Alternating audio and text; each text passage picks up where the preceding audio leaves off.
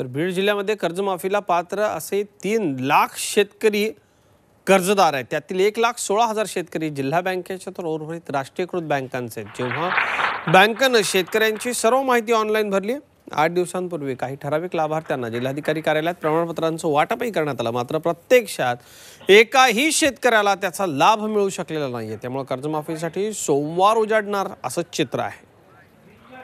तर आम्ही तीन चार शेतकऱ्यासोबत बोललो की आपल्याला कर्जमाफीचे पैसे येते ना आपल्याला थोडंसं क आपलं खेळतं भांडवल तयार होईल शेतकऱ्याला थोडा धीर येईल कर्जमाफीची प्रत्येक योजना शेतकऱ्याच्या पदरात पडन.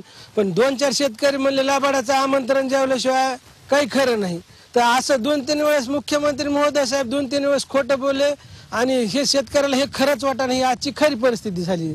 धीरच लागा कर्जमाफी होईल का नाही कधी होईल हे काही सांगताच आहे ना खात्री वाटाना आणि विश्वास बी वाटाना.